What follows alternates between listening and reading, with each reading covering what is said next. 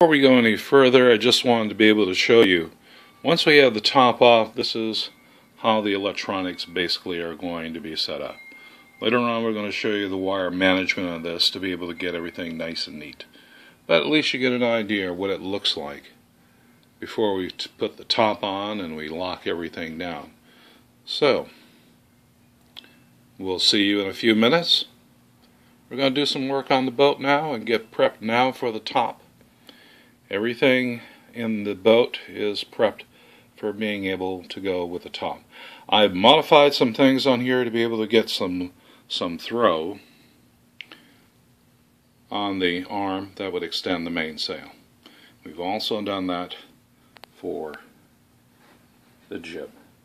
So now we have a way to be able to take advantage and to be able to get as much throw as possible without having lines on the outside of the boat. Anyway, we'll get with you later. Till then, take care.